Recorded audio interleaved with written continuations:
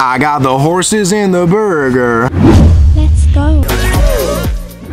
What up fans? Today I'm in Tivoli Park, the biggest and most beautiful park in all of Ljubljana, Slovenia. The park is incredibly lush. There's beautiful flower gardens, awesome sculptures, a museum, a castle, hiking trails for all experience levels, and cafes and restaurants as well. I came here at the absolute perfect time because the leaves are just starting to change. I don't know about you guys, but I love fall. The colors, the smells, all that stuff. Anyways, I didn't come to this park to walk the trails or check out the art or do any of that stuff. Nay, no pun intended. Being an investigative snack journalist often means I have to try foods that you would never try in your life, and I particularly don't have any interest in trying. Well, because Snack Chat Live is all for the fans, today I'm about to chow down on a very controversial dish.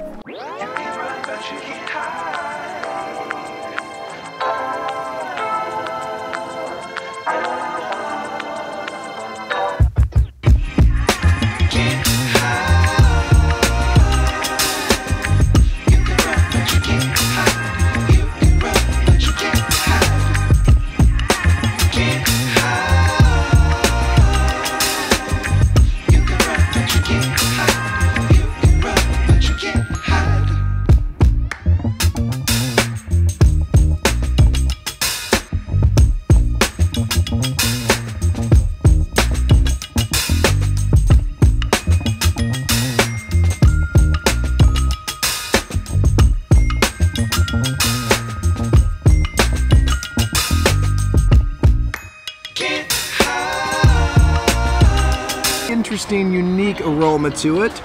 Guys, just check this out. This bun is massive, the burger's massive, the patty is the size of a horse. So I asked the guy what he recommended. He said I gotta go with the traditional horse burger. He said it's the best thing on the menu. So I got it with lettuce, tomato, onion. There's a little bit of pepperoni in there, ketchup, mustard, and mayo. Pow.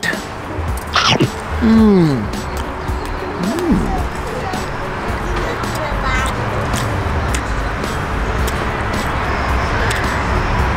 Okay.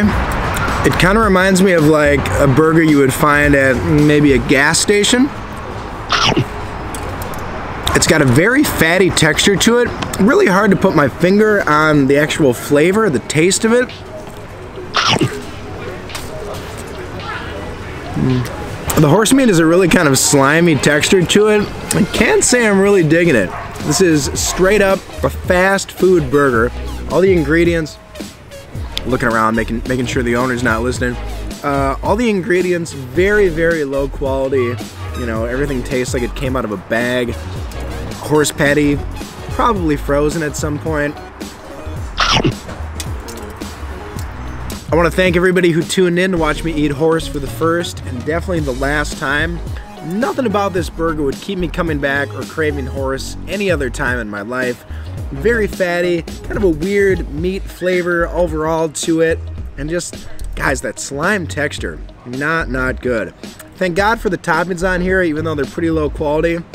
They still kind of made up for the weird, funky flavor of the horse. I wouldn't get it again. Horse meat, well, I found out it's not really for me. The total cost was 6 euro 40 and for the amount of food, again, this thing is absolutely gigantic. Is a pretty good value, but from a taste perspective, eh, not the best. Fans, this is a 1.8 rocket ship burger. Thanks so much guys for tuning in. Really hope you enjoyed their review. My name was Brent Timm. This was Hot Horse. This is Snack Chat Live, and I'm saying ciao for now.